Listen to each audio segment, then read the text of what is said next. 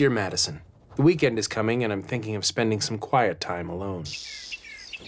Being out here helps me see things more clearly. I can't say I miss city life. Your brother, on the other hand,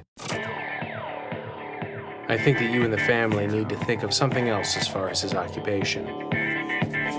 He quite realistically could never amount to anything.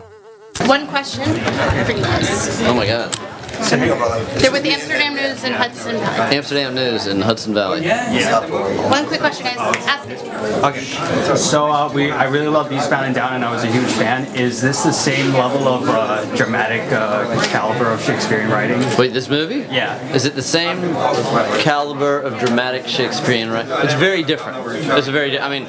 Uh, Eastbound is a very specific itch that we like to scratch. We're getting ready to start season four in a couple weeks, so I'm excited about that. But this is a little bit more dramatically. Um, no, it's, it's interesting. It's a remake of an Icelandic movie, and it definitely has a kind of more Scandinavian tone as opposed to kind of the redneck Shakespeare that we like to exploit on Eastbound.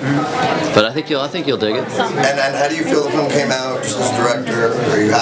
Are you happy with this movie, I'm pretty happy with it. Yeah, I, I, I enjoyed it um, as an experience and as a product. And you enjoyed working with the cast, everyone was great. Yeah, you know, it's hard to complain. Just uh, it's kind of a down and dirty, um, you know, roll up your sleeves and everybody go to work, and not a lot of luxury type of uh, filmmaking experience. And when you get good, uh, good guys like Paul Rudd and Emile Hirsch to work with, I mean, it's just it's awesome because you can. It's like going to summer camp with your buddies, you know. And what's your next film? You got anything else lined up? I got a lot lined up, so we're just gonna see what the reality is as it unfolds. But uh, but yeah, Awesome. Thank you so much, man. It's a pleasure to meet you. good to meet you. You guys take care. Have a good screening, man. He's totally fine.